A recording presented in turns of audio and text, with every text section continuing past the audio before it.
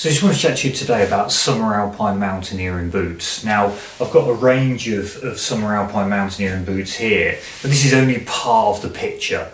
Okay, these are what we call B2 boots. Um, classically, you have B1 boots, are a very flexible boot, and I'd you know advise those for sort of trail walking, etc. But if you're looking for a boot that takes a stepping crampon that you can use for glacial travel, scrambling around on mixed terrain, scrambling on rocky ridges, and climbing little rock steps, then you really need a sort of B2 boot as a sort of minimum. So you've got a boot here that is, is reasonably stiff um, it's got a, a, medium level of warmth there and support, and it's also got a, a heel welt here that the crampon sits into. Um, so this is the sort of Sportiva Trango Tower. We've also got the Scarpa Charmoz, and you can see again it's a, a, sort of modern design similar to the Sportiva. It's got this heel welt on the back. The crampon just cups and fits over that sort of toe box there. You know, modern materials. It's nice and lightweight with a sort of medium level of warmth there. Um, again, Scarpa has got um, the Manta. It's a little bit of a heavier boot, but I think you get a little bit more warmth from this. Uh, again, it's got a, a, heel welt there that the crampon fits onto. But all of three of these boots here are great for sort of summer alpine mountaineering. Um, you know, uh, and, a great boot for, for that. But if you're coming out to the Alps and you're looking at objectives that are maybe 4,000 metre plus objectives, um, you're looking at more technical terrain where you know you're on snow and ice a lot more, you may be front pointing a lot more.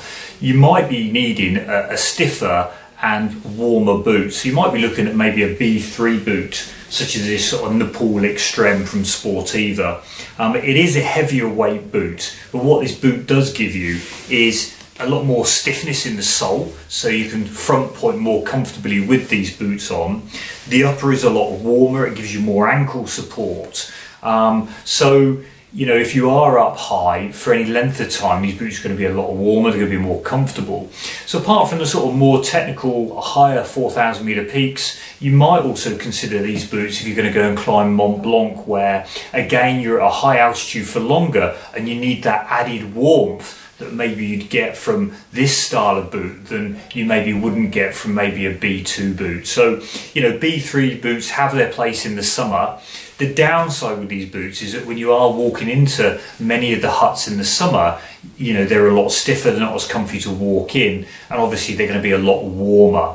But certainly above the hut, you know, and when you are in the snow at a higher altitude for longer, front pointing and cramponing on more technical terrain, you know, or maybe at a higher altitude like Mont Blanc for longer, these boots are going to perform very well, keeping your feet nice and warm, you know, and move well over that sort of technical terrain.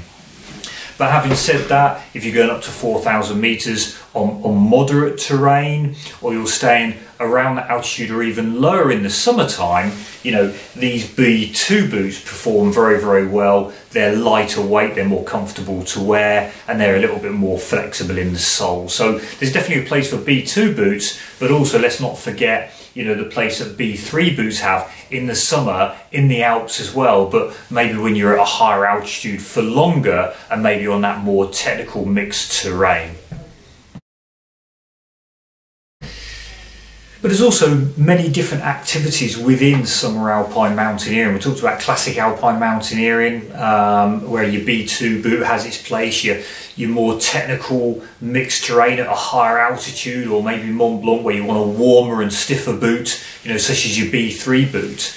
Um, but if maybe you've got an objective such as, you know, the Hornli Ridge of the Matterhorn, which is, you know, mainly rock scrambling and, and rock climbing, there's no glacial approach um, but there may be snow above the shoulder up towards the summit. You know, you might think of a, a boot such as the sort of Scarpa Rebel. And this is a B2 boot as well, but I think it's just a little bit more flexible, it's a bit lighter weight, and I can really see this boot work well on that sort of terrain where you're in crampons for, for less time during any day, there's, there's, there's not much glacial travel, but they also still fit a, a stepping crampon. So, you know, the Rebel is great for for that kind of alpine mountaineering. So, you know, hopefully it gives you a little bit of a feel for some different boots for different aspects around sort of alpine mountaineering.